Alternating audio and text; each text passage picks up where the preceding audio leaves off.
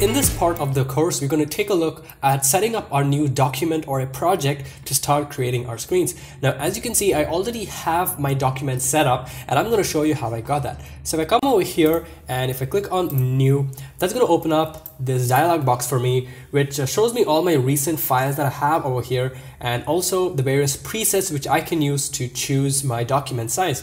Now we have versions for the, the iPhone, the iPad, for web, and also a custom size that you can choose. Now, if I come over here and click on this arrow mark, you can see we have different versions and different dimensions. So this is for the OnePlus 6 and 7 Plus. This is just for the OnePlus 6, 7, the iPhone 5 and the iPhone SE, and also the Android Mobile. We also have different versions for the iPad, the Surface Pro 3 and the Surface Pro 4. Um, for the web, we have different dimensions for the web as well, and also a custom size which you can click and choose if you want. Now, I'm gonna go and choose the Android mobile one, uh, you know, just because I want it. Now, as, as, as soon as I click on that, it's gonna open up this new dialog box for me, which is basically another screen uh, where I can just maximize and start working.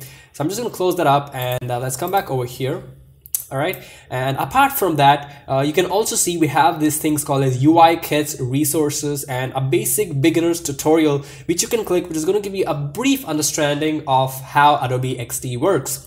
Now if I click on the UI kits if I just click on Apple iOS that's going to open up a brand new window which is basically another document or a project as you can say. And if I maximize it and press Control 0 on my keyboard which is going to fit all the artboards on into one screen, you can see that these are predetermined and pre-ready to use um, screens which have icons, numbers, anything. So instead of creating them on your own, you can just drag and drop them into your project and that's going to reduce a lot of time for you.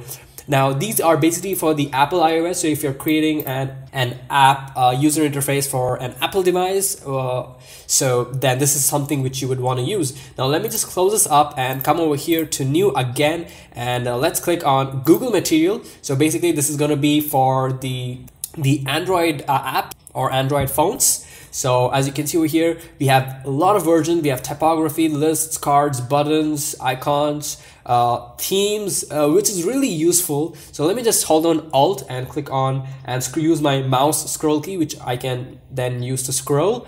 And as you can see, we have a lot of these different cool and amazing ready to use templates uh, to create your designs. Let me close this up. Let's show you the last one, which is going to be for Windows Phone. Uh, pretty sure not a lot of you are going to be using this, but you can use all this as inspiration or give you a little bit of ideas also in case you're creating something. So we have the media player, uh, the hubs, the progress bar, uh, very interesting and very nice. And you can also see we have for the desktop, uh, if you want to create a cool user interface for your desktop, you can do that. And also the various sizes of the phone. So let me just close this up.